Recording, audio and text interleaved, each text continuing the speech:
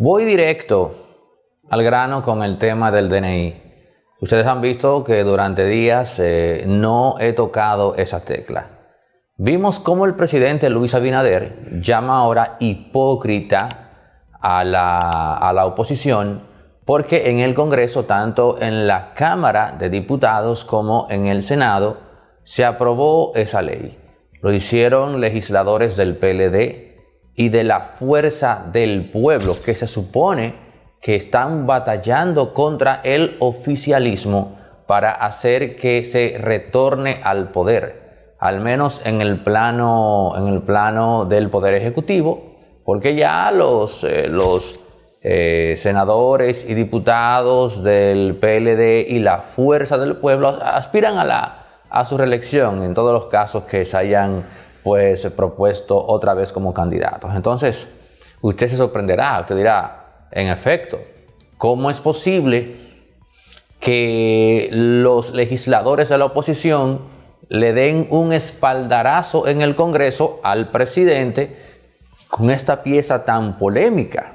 Fíjense, por cierto, que ahora están diciendo que no la leyeron y que el Poder Ejecutivo introdujo esa pieza en un punto en el cual ya ese día en cuestión se estaba terminando la sesión y que por la premura ellos la aprobaron sin leer. Esa es la coartada que están esgrimiendo tanto PLDistas como miembros de la fuerza del pueblo. Sobre ese punto volveremos quizás en otro capítulo. Ahora lo que tenemos ante nosotros es precisamente eso.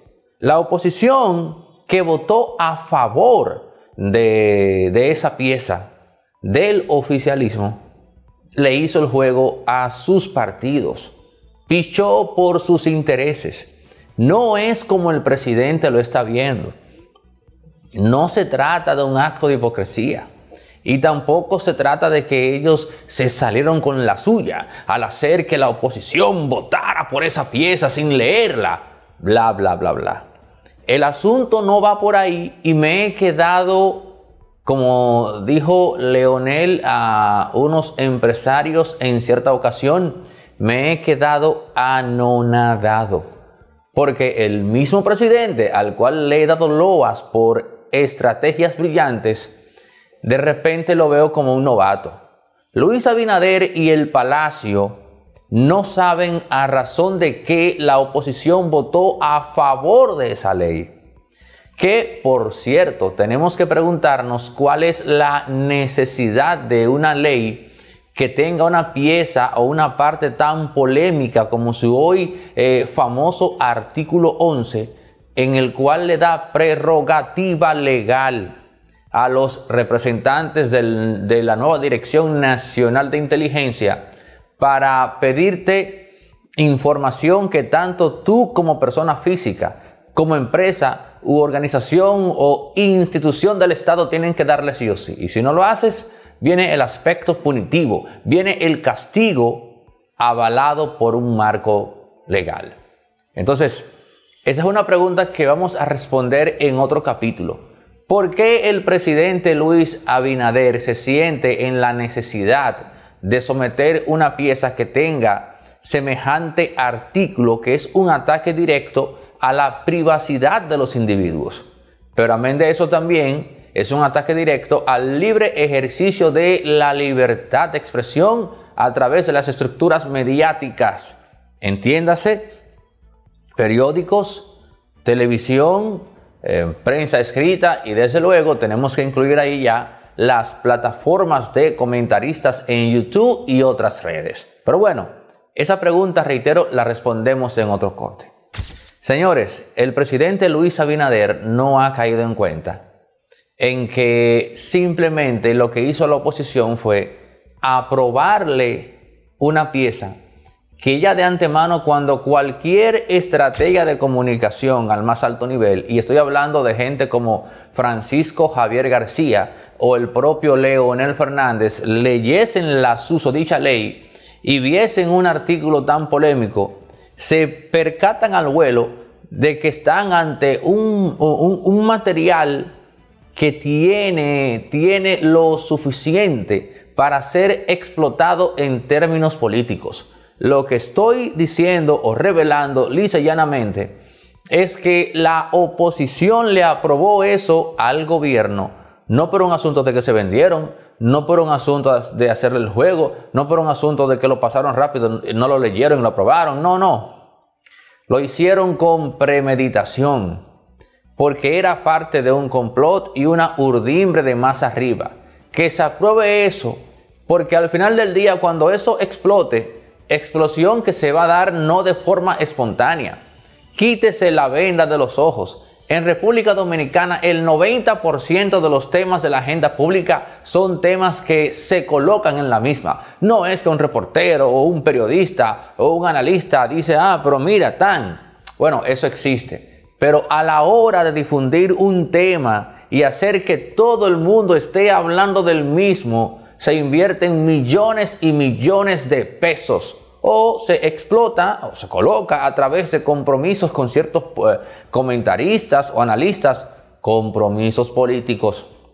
Preferiblemente si ese comentarista es influyente, porque ya eso hace que sea entonces replicado por comentaristas de menor importancia que al difundir el tema terminan posicionándolo eso más unos cuantos millones, pues asegura que el tema se convierte en tendencia nacional. Les estoy revelando cómo funciona la agenda mediática del poder en República Dominicana, así como quedó más dos, es cuatro. Entonces, señores, ese asunto de aprobarle eso al presidente era una encerrona. Te lo aprobamos.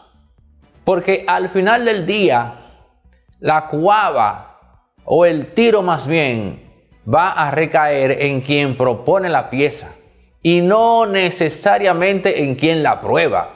Eso es un asunto secundario del cual se pueden resbalar, porque ahora están diciendo que fue que no lo leyeron, ahora están diciendo que fue que el Poder Ejecutivo lo sometió a última hora con alevosía para hacer que se vieran en la necesidad de aprobarlo sin leerlo, para que lo viesen como una mera ley protocolar una mera ley que sencillamente avalaba la existencia de una nueva institución y que como tal, por lo tanto, ahí no había nada malo que, eh, que quedase oculto. O sea, ellos lo vieron como algo baladí, si se quiere. Em, aprueben eso ahí, que eso es básicamente para avalar la existencia del nuevo DNI. Entonces, ellos están diciendo ahora que fue que lo aprobaron sin leer. Esa es la defensa de los congresistas de la oposición. Y esta es la hora, oigan bien, esta es la hora en la que Luis Abinader no sabe que simplemente cayó en una trampa. Sea dicha la verdad, al proponer una ley del DNI con un artículo tan, tan lesivo a la privacidad de las personas, y que la misma fue aprobada en el Congreso por los legisladores de la oposición, el presidente cayó en una trampa. Así de simple, Luis Abinader cayó en una trampa. Mi nombre es Rubí Morillo, eh, soy de aquí de La Vega y tengo 25 años. Yo soy estudiante de medicina. Yo llegué a la banca, fui a jugar unos números y a saludarla. Y ella me dijo que le jugara un agarra cuatro. O sea, me soñé algo con alguien, jugué la fecha de nacimiento y yo pues lo jugué, me saqué. Nada, yo no me lo creía cuando ella me dijo, me llamaron que se vendió el millón y fue mi banca que lo vendió. Ven a checar tu ticket porque fue la única que yo que lo vendió para mí. Nada, nos abrazamos y no me lo podía creer. Bueno, pues yo le solto a todo el mundo que juegue porque igual. Eso fue, sí, eso fue un regalo de Reyes. Bueno, yo voy a usar mi premio para cosas de mi carrera, que bastante cara que es, y entre otras cosas. Yo me gané un millón gratis con Lotedón. De Lotedón. Para luego provocar todo este conflicto, todo este mare magnum que se ha suscitado de repudio en la opinión pública un repudio que al final del día recae en el presidente y su proyecto reeleccionista. Por eso fue que le aprobaron la bendita ley. Y a esta hora, él no se ha dado cuenta de esto. Eso es lo que hay detrás de todo esto. Queda por responder a razón de que el presidente somete este proyecto de ley con ese polémico artículo 11 que nos obliga a nosotros a, literalmente hablando, hacer lo que nos pida el DNI en cuanto a información. Y digo todo lo que nos pida porque es que eso no se va a quedar en información, señores. O sea, eso no se va a quedar en información. Pero esa pregunta hay que responderla en otro capítulo. Así como también tenemos que responder este asunto de que Leonel ahora se propone derribar esto constitucionalmente. Ahí hay dos temas. Y ya por último, en el breve tiempo que me queda, hacer una breve reflexión sobre el uso que está haciendo la Policía Nacional de Figuras en su campaña en la cual motiva a los jóvenes a que ingresen al cuerpo del orden. Usaron a DJ Adoni, fue una decisión totalmente fatídica, evidentemente no estoy, no estoy criticando que DJ Adoni se gane su dinero, nada que ver, no es por ahí que voy, lo que estoy planteando es que en función del perfil de él, él, él gana dinero vendiendo o participando en esas fiestas detrás de las cuales anda precisamente la policía, las fiestas de la juca, los de Teo, todo eso. Bueno, ahí es que él se gana la vida. Es un oximorón ver a DJ Adoni entonces diciéndole al joven que entra la policía. Pero ahora veo también que está Jochi Santos. Es evidente que ellos atendiendo a la crítica decidieron ampliar el espectro de las figuras. Tampoco estoy eh, en desacuerdo con que Jochi Santos se gane su dinero en eso. Es un comunicador respetable. Eh, la, gente, la gente lo admira. ¿no? Ahora, a lo que voy es lo siguiente. Para mí es de mal gusto ver a una persona de clase media alta que de ninguna manera espera o le diría a un hijo suyo que se meta a la policía pidiéndole al hijo de Machepa que se meta a la policía. Me resulta asqueroso porque con toda seguridad Jochi Santo en su privacidad tendrá sus reservas hacia el tema de que una persona sea policía.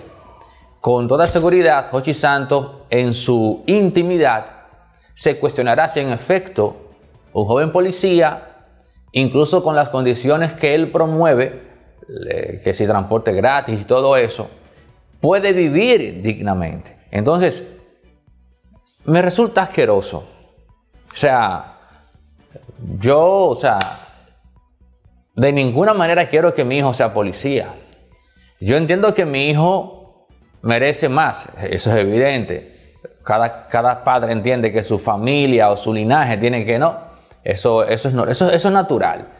Ah, pero yo vengo ahora sin ton ni son y le digo al hijo de Machepa, al hijo de la gleba, que se meta policía. Eso para mí es humanamente de mal gusto. Comprendo perfectamente que es legal y normal que se gane el dinero de esa manera. Tanto él como DJ Adoni pero no pude dejar de observar esa disonancia cognitiva. Literalmente hablando, Hochi Santos se paró ahí como un autómata, o sea, se paró ahí como un autómata, leyó lo que tenía que leer y salió con su deplorable risa al final, que solo en un país que tiene un muy bajo criterio estético eso puede parecer empático, pero bueno, entonces, y se fue. Y se fue. No, y sober. Me parece humanamente asqueroso. Ningún comunicador de clase media o media alta en este país quisiera que un hijo suyo fuera policía. Ergo, me parece inhumanable, como diría el poeta viejo. Entonces, pararte frente a una pantalla y decirle al hijo de Machepa que sí, que venga él. Nope. Gracias por llegar a la parte final de este capítulo de Impolíticamente Correcto.